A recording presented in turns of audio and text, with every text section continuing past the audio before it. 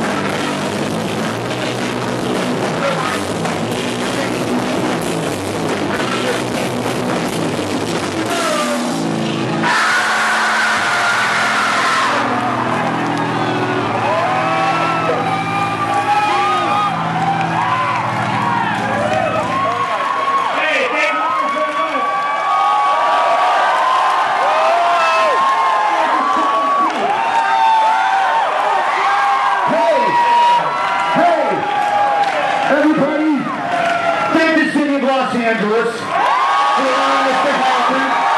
Because this, this certainly doesn't happen very often. And uh, I do believe that we've been able to prove that we can keep our composure and not act like a bunch of animals.